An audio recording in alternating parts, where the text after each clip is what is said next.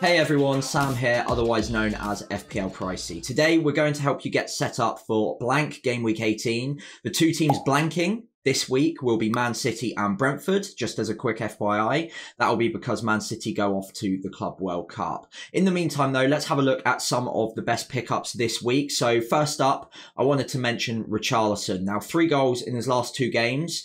No, he's not getting full 90 minute matches so far, but he's getting good minutes. He's starting the games now, and he's still really good value at 6.7 million. Importantly, he's also incredibly differential at under 5% owned. 2.4% at the moment is incredibly differential. I do expect that to boost up in the next couple of game weeks, especially around game week 21 when Son Heung-min goes off to the Asia Cup for a couple of game weeks. He could be a really decent replacement for him around about then. However, if you wanted to pick him up whilst he's still differential, whilst he's still cheap, and with good fixtures over the next three, then I think that now is a pretty good time to be looking at him. Everton, Brighton, and Bournemouth, I expect Tottenham to do well enough in all three of those games, and the underlying data suggests that he's going to continue his scoring streak over the next few.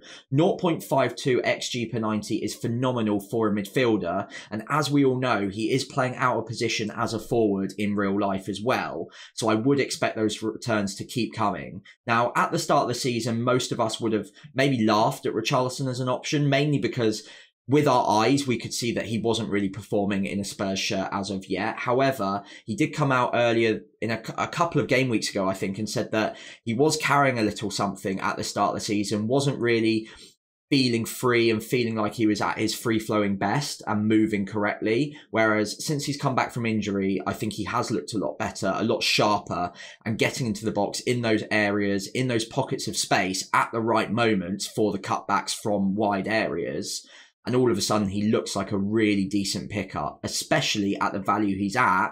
There are a lot of midfielders in the game between six and seven million, which are flattering to deceive a bit at the moment. Whereas Richarlison is starting to get the minutes, he's getting the goals, and the data is also there as well. So I really like him as an extremely good differential option for the next few game weeks. So there are two strikers in particular that I'd be looking at getting rid of this game week if you can and if you don't need to take a hit to do so. The first of which would be Darwin Nunez. Now, obviously, the data is still looking really good on paper, but I think we're all just a little bit fed up if you own him, of course, of how he's been performing on the pitch. And the eye test isn't good either. Four goals so far this season, hasn't scored in quite a long time now either. And any of us who picked him up around game week 15, or maybe it was 14, due to the rumours around Ollie Watkins being injured, will have really regretted that move. I know I have as well. So I have talked about him two game weeks in a row. I don't want to take too much time up talking about him this game week, but I think with Arsenal at home, if you can, and if you've got a free transfer to use, I think getting rid of him could be a pretty wise idea ahead of the next stretch of fixtures. Yes, game week 19 against Burnley is going to be a good one and Bournemouth in 21, but I think there are better strikers out there, even cheaper strikers as well, that I think we can rely on a little bit more than Darwin Nunez at this point. And despite the data, I'm pretty sick of him. And if I had a free transfer spare, I'd probably be looking at getting rid of him this game week. The second striker I'd be recommending getting rid of this game week is probably a really easy one, and that is Julian Alvarez. Now, the reason for that is, of course, he blanks in game week 18. Now, I think after that, the fixtures are looking really good, but the underlying data for a striker isn't exactly what you want to see. Now, a total XGI per 90 of over 0.5 is good, but really, for a forward, you want to be seeing that XG a lot higher. And 0.27, whilst it's not absolutely awful, it isn't quite at the heights we really want to see someone who is playing currently up front for City. Now, obviously, Erling Haaland is a player that we expect to come back in game week 19, possibly game week 20, at which point Alvarez will probably recede back to the sort of false nine role or the number eight role in behind Haaland. Now, I think with Alvarez, in terms of the eye test, he's still a good player. Obviously, he's a very talented athlete and then a talented footballer. But in terms of FPL points and FPL returns at the moment, I think we can get better elsewhere. Now, I think another important factor is with the blank game week 18, I don't really think he's a player that I'd be shielding and hiding on my bench for one game week. I think there are other strikers out there at the moment that I would probably be looking at at around the same sort of price point as him. And this could be a really good opportunity to get rid of him and attack the strikers that are actually getting the goals at the moment. So enough waiting. Let's have a look at which striker I'd be recommending if you've not got him yet to bring in ahead of game week 18. So most of us already have Ollie Watkins, otherwise I'd be suggesting him as well. But if you've already got Ollie Watkins, the other player I'd be highly suggesting this game week would be Dominic Solanke. Now, obviously, it's still up in the air what's going on with game week 17 and the actual points, but he did score. So that is three goals in the last four games that he's played in. And the underlying data is looking much more encouraging for a striker. So 0.5 XG per 90 is exactly what you want to see. Bournemouth are starting to score a lot more goals and feed him a lot more regularly now as well. So 6.8 million, he's still cheap cheaper than Julian Alvarez and a lot cheaper than Darwin. So I would say that he is a pretty ideal prime candidate candidate to be bringing in ahead of both of those two at the moment. Nine goals already so far this season. He's going along at about a goal every other game, so he's matching up to the underlying data really well. And the next two fixtures, Nottingham Forest and Fulham, are both good from an attacking point of view. Tottenham, Liverpool, and West Ham after that, not ideal, but a talismanic striker like him, I would back to score in any given game, a bit like Ollie Watkins. So a striker I'm more happy to own throughout any sort of fixture run is one of those who are on penalties, who are talismanic to the team, and if they're going to create a, a chance, it would fall to them more often than not. So I think even with the fixtures getting a little bit t- tougher after game week 20, I'd still be pretty happy to hold him throughout that. And 6.8 million is great value for a talismanic striker in a team that are to starting to really create some good underlying numbers and creating those goals as well. So Dominic Solanke would be very high in mind. If you've already got Ollie Watkins, he would be next in the list as strikers to bring in this game week. Another player I've got my eye on at the moment is Mohamed Kudus, and he is incredibly differential at under 5% owned at the moment as well. 6.7 million, very good value for money, and despite the data not being absolutely incredible, it's certainly not bad, and five goals, three assists already this season, especially considering he's a new signing and didn't really even start matches for West Ham until a few game weeks in, is a really good return. Now, he is going to be differential for the next few as well, because it is important to mention that he will be expected to go off to AFCON around game week 21. So he won't get the benefit of those two really good fixtures against Sheffield United and Bournemouth. However, due to that, he will remain incredibly differential, and I really don't mind the next three fixtures either. I think those two home games against Man United and Brighton could be an interesting differential to be targeting for two teams that are conceding quite a few goals at the moment. Now, Man United obviously did keep that clean sheet against Liverpool yesterday, but I still expect them to concede a fair few. Arsenal is a bad fixture. Let's not beat around the bush there. But Brighton as well have conceded in every single league game so far this season.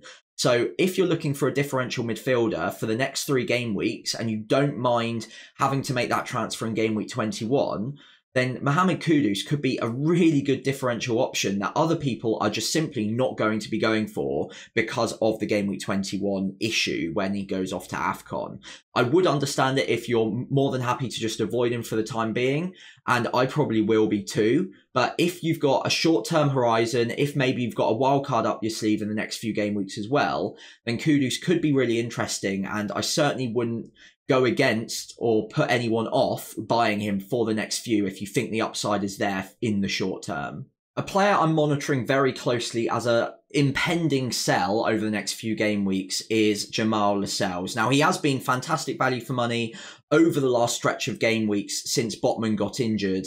Regular 90 minutes, good few clean sheets, and he got a goal during that time as well. So I do thank him for his services. However, I am worried about how long he's going to last in that starting lineup for Newcastle. Now that Botman was named on the bench in game week 17, came on for I think 10 15 minutes at the end. So we know he's nearing a return. Now we'll get a lot more information in midweek during the Carabao Cup fixtures, whether Botman is close or not. But I think it's fair to say that time is running out on Lascelles. Now he might be lucky in this game week in particular because Schär did pick up an injury in game week 17. So that actually might mean that Lascelles starts alongside Botman in game week 18 away at Luton. Now, I'm probably going to hold on to him for that reason, just in case he does start that game, because Luton away. Yes, Luton are pretty good at home, but it's still a decent fixture for Newcastle, and there aren't many clean sheet options for defenders this game week. And I'd like a bit of time to assess my options, but I think overall, he's a player that we definitely need to monitor now. We need to have a plan for getting rid of, if not this game week, possibly in game week 19.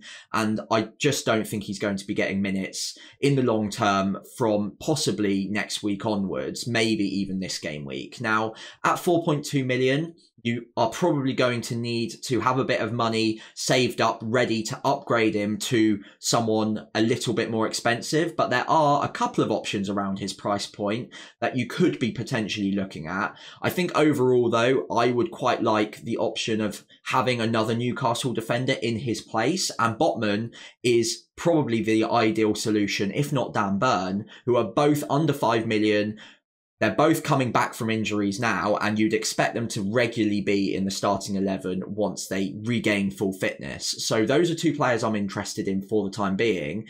And I think Lascelles is probably going to stay in my team for one more game week in the hope that he starts against Luton. But after that, I'm probably going to have to look at selling. And it's just one that I wanted to flag in case you're relying on Lascelles to start over the next few game weeks as well. Now, Everton are a team that a lot of us are starting to have a quick look at now because they've kept, kept four clean sheets on the bounce, which is no mean feat. That is pretty incredible. And Dyche is also doing a very good job at Everton at the moment. Without that 10 point deduction, they comfortably in the top, be in the top half. So Everton are a team that maybe we should be looking at a little more closely. Now, those four clean sheets on the bounce, very, very encouraging. However, I would urge maybe a little bit of caution on this. Now, yes, they've been really good recently, but the fixtures over the next few, if you want to look at the Everton defence, it's probably not the best run of fixtures for more clean sheets to come. Now, Spurs away, now we know how free flowing and attacking Spurs are. They've got a lot of very good attacking assets, so I'd be surprised if Everton kept a clean sheet away from home at Tottenham. After that, straight into one of the worst fixtures out there at the moment, Man City. Now, if you're going for someone like Jordan Pickford, that could be interesting because even if they don't keep clean sheets in those games, he's still probably going to get a few save points in those two matches in particular. And then who knows? If they do somehow get a clean sheet in either of those games, he's probably going to be very likely a candidate for maximum bonus. And then you're looking at a pretty big haul for Jordan Pickford there. So I would understand more the Jordan Pickford move than maybe other Everton defenders. And the underlying data is also pretty encouraging as well. So who knows? Maybe they get lucky and maybe they keep one or two clean sheets in this run. However, even after Tottenham and Man City are, out the way, away at Molineux against Wolves, maybe the best chance of a clean sheet in the next four. But then after that, Aston Villa at home is going to be another difficult fixture for them. Yes, Everton have surprised us this season, and yes, they have been very good. And I think at some point this season, they're going to be incredible value for money, especially in defence. But for the time being, I would urge a little bit of caution. The fixtures coming aren't the best. And outside of Jordan Pickford, where you might be getting a few save points, maybe if you're lucky, you'll get a clean sheet out of him and therefore quite a large haul. I think outside of that, maybe now possibly isn't the time to be looking at them if you're trying to find the next defenders for clean sheets in the next few game weeks. That being said, Mykolenko and Brandt Branthwaite are both really good budget enablers in defence, and if you can afford to bench them for a few game weeks, they could be interesting options as yet. But I think overall, we can probably just avoid the Everton defence for the next two game weeks at least, and maybe you could start looking at them in game week 20 when they go up against Wolves away from home. So there you have it. Those are my transfer tips ahead of the game week 18 deadline. In the meantime, if you enjoyed the video, please remember to leave a like and subscribe to the channel. That would be greatly appreciated and it really does help me out. So that'd be an early Christmas present for me if you did subscribe. Now, also, if you have any players that I haven't recommended today that you'd like me to talk about, or of course, any dilemmas with your team ahead of the game week 18 deadline, please do feel free to leave a comment below and I'll try and get back to all of you before we hit the Thursday deadline. I'll be back later on this game week with my team selection video, probably on Wednesday morning because we've got that Thursday deadline this week. So do make sure you get your teams locked in in time for that. And hopefully I'll see you back on my channel later this week.